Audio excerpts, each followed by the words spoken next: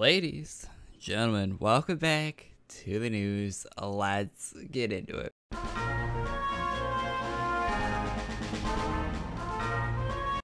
Starting off the news this Thursday, we have the Naval Reaper and Golden Raider, the two upgrade packages for September, of course, Naval a Pirate Day themed, and we have more info on them on the design notes. Uh, the Naval, the top tier one, the 12k 12 month, will come with two armors, Naval Reaper and Golden Reaper. I'm going to guess this is Golden Reaper and this is Naval Reaper, judging by the shoulders. Just a guess. They, I don't think they ever actually tell us which one's which anywhere on here. Oh, it says it right here. Okay, it actually clarifies it, which is good.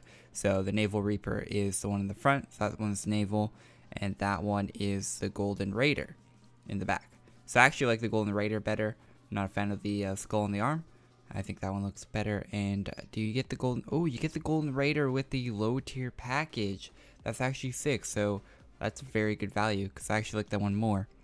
So you get both the armors with this one, uh, low tier and high tier armors, three helmets, five weapons, three capes, Skull and Bones chest pet.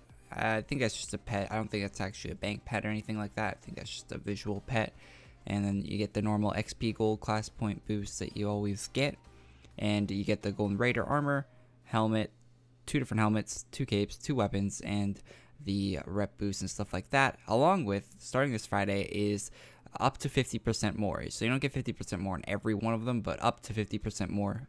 Uh, of course, 50% being the 12k package. I think it goes down in percentage the lower tier package you get. So yeah, it's a good time to buy ACs when they do the 50% more uh, sale. They do this almost every TLAPD they do a sale like this, so that's very good for people buying ACs for stuff like uh, birthday and uh, TLAPD. Bunch of events coming out soon where you're gonna need some ACs if you want like Lightcaster class during the new navals, including Shadow Dragonborn Naval Commander.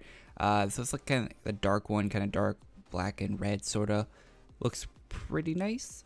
I mean, I don't know. You have so many colors to choose from it'd be hard not to wear the next naval I'm going to show you over this one, of course. A color changing naval. Alright, boys. So, you know, a color custom naval would have been nice, but I think this is kind of cool. I don't know if we've ever had a color changing armor before. It changes colors every time your character blinks, by the way. You can see that if you look closely at this. Every time the character blinks, the color will change. So it's kind of cool. It's a slow color shift sort of uh, naval. I want them to use this on other armors now. I mean, it's really cool, but this would be. I could see some cool applications for like swords and stuff where they change color. Oh my god, there'd be so many like uh, they added combat animations to weapons where they would change or add something to the weapon when you got into combat with the weapon. So now we have color changing uh, elements on armors, which I don't know how easy it is for, for them to implement that. If it takes them a long time or not, but it'd be cool to see that on new uh, different armors. But this one's definitely cool, and I'm going to guess this is going to be with the 10k chest uh, with all the navals in it, so it definitely adds some value to that. Uh, last time they posted on the notes about it, it had 9 armors. I think that number has increased since then with the add of the Crystal Dragonborn and I think they made some more. I think there's like a total of 10, 10 or 11 different armors. I think it's 10 uh, Dragonborn naval commanders now. House items, damage boost items, and a Wyvern bank pet that you can only get in the 10k chest. So they're adding a bit more value to that with a color changing armor. If that armor is in the bank, it'd be kind of sad if it wasn't in uh, the 10k treasure chest, a Dragon King treasure chest. It'd be kind of sad if that wasn't there, but it looks cool and I can't wait for that. That item I think it's worth a 10k by itself in my opinion. It's color changing. It looks amazing. Sorry for the weird cut. Um, here are a few. I was I remembered I had this while I was editing. So here are a few images that were on Roots character page. A few uh, characters on Roots character page I got. So we have the Vulcan Naval Vulcan Vulcan. I don't know something like that. Uh, this was in game on his character page, so if a version of Vulcan's Naval was coming out this year, this would probably be the version. So there you go. Uh, we have the Dragonborn one, of course, with the sword. I don't know if you've seen that sword already, but uh, that's probably what the sword is going to look like for the Vulcan, or not for, for the Dragonborn naval, and the Paladin one. I think the Paladin one's gonna be my favorite like design this year. It's very simple, very clean, nice colors. So there are the three navals.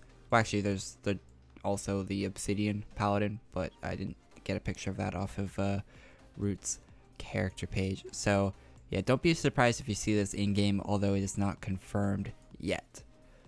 So I normally don't show uh, a lot of. I see a lot of fan made stuff every. Um, I don't know if this is fan made, but I see a lot of fan made stuff for AQW. I don't know if this is going in game or not. Alina retweeted it. That's why I'm showing you this. So you can take of that what you will.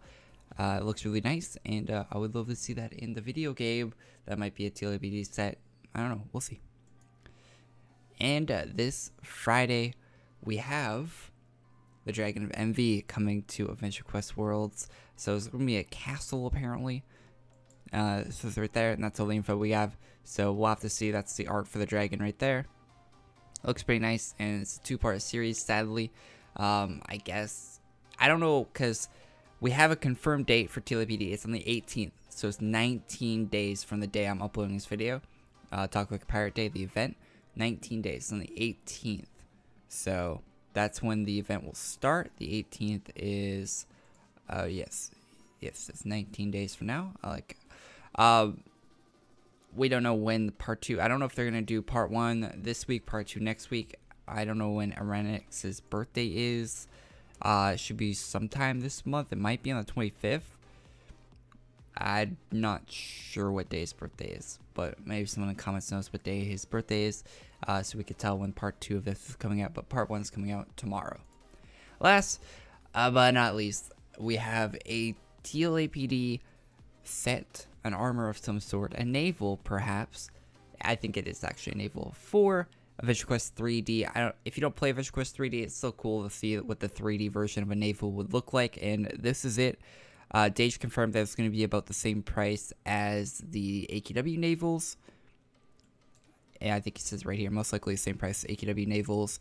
So, yeah, not including weapon, of course. So, like 1.1 KAC would be the price on this. And uh, I hope they do like a black version of this. Like, I want, uh, not a black version, a red version. They already did a black version for the uh, Kickstarters, but a red version of this, kind of like the red version of the naval for AQW, would be really sick. Like red and yellow would be very nice. So that is all the news we have for Adventure Quest this month, not month, week. God damn it. this week. Uh, we'll be back here next week for more news if some news pops up. Uh, we didn't have a lot of news this week, but uh, hopefully you guys enjoyed it. I'll be live streaming the new event, the Envy Dragon, tomorrow, and I'll see you guys all in the next one. Peace.